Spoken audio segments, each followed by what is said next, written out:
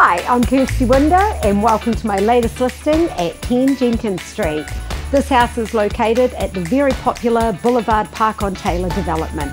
If you like what you see, then give me a call and I'd love to show you around.